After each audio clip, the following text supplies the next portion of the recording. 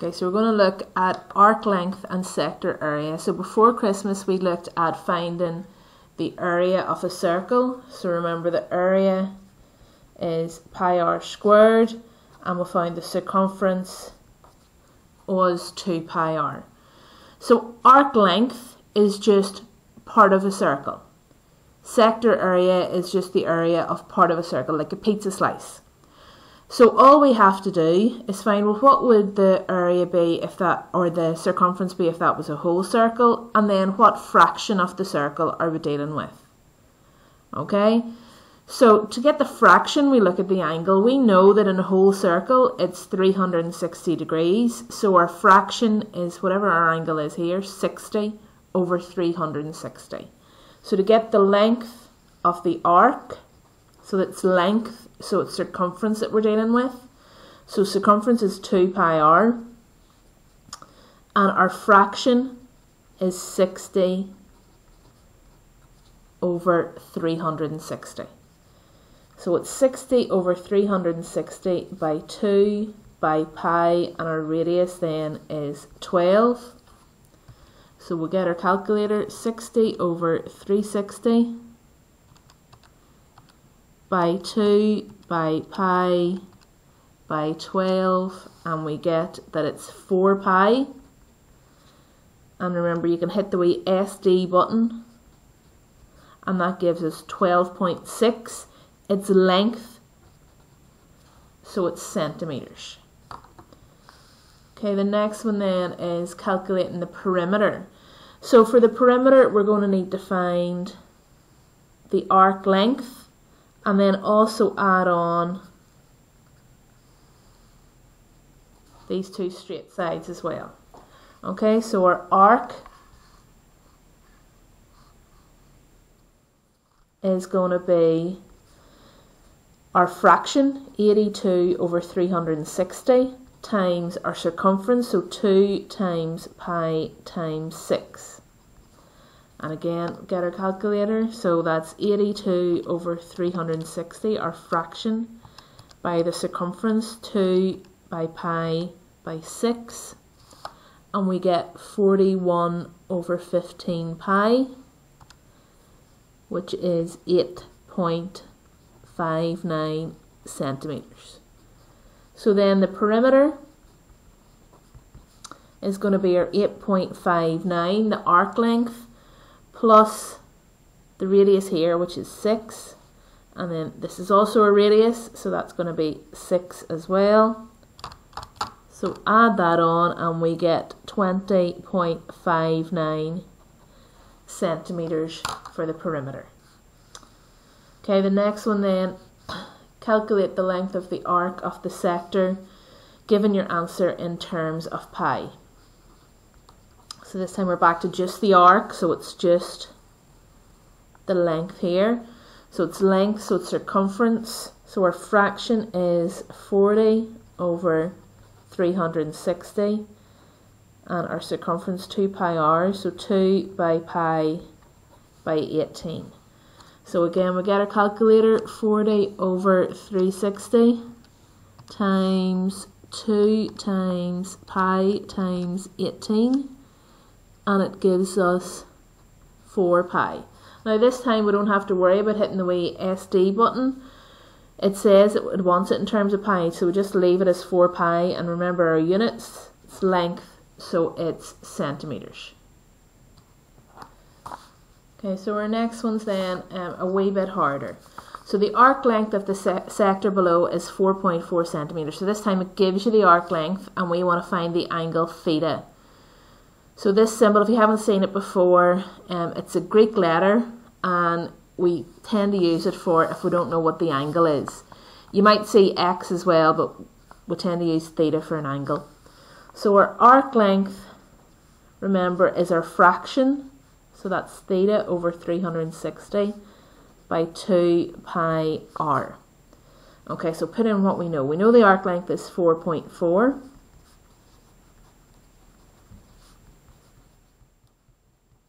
and we know the radius is 6.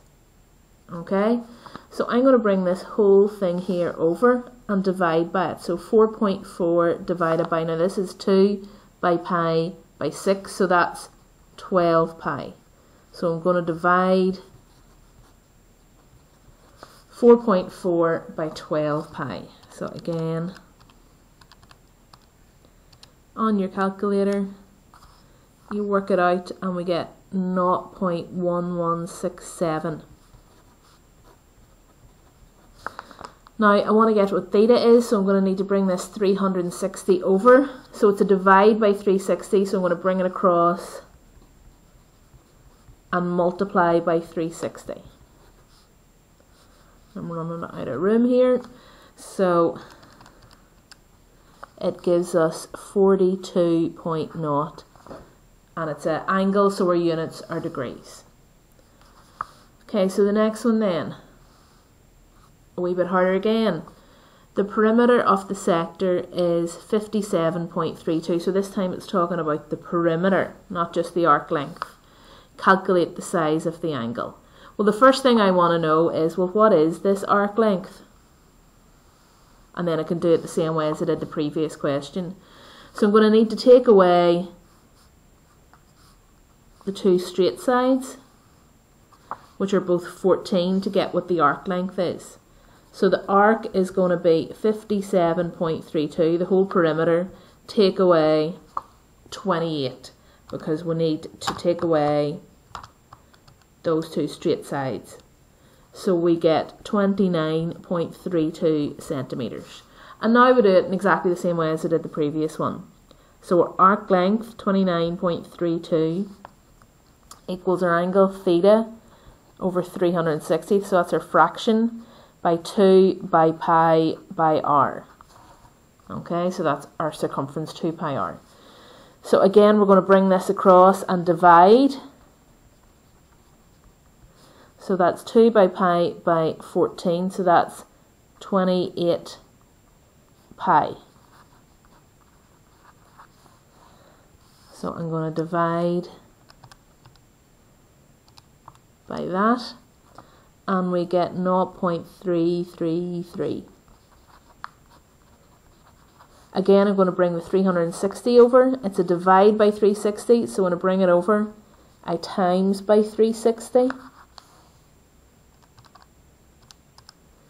And I get that theta is 119.99. We'll round that up to 120 degrees. Okay, and our last wee one then, um, it says the major arc length is 31.1. Find the length of x, the radius of the circle. Okay, so if we look at this circle, it has got two arc lengths.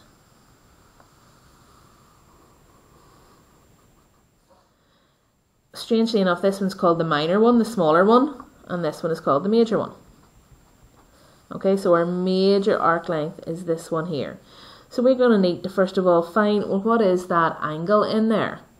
Now we know that the angle of a uh, circle add up to 360. So if we take 36 away from 360, we get that it's 324 in here. Okay, now again we fill in our formula with everything we know. So arc equals our angle over 360 by 2 pi r. So our arc length we know is 31.1. This time we know the angle 324 over 360 by 2 by pi by x. So the x is what we're trying to find out. Okay, so the first thing I'm going to do is to take this divide by 360 over to the other side and multiply. So 31.1 times 360 gives us 11196.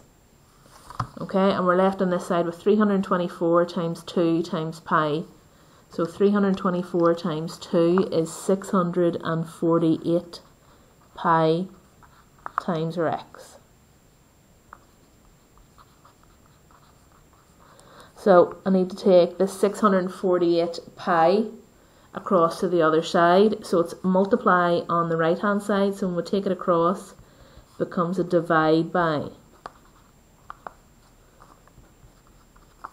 So we're going to divide 11196 divided by 648 pi and I get that x is 5.5 and it's the, uh, a length so it's centimeters.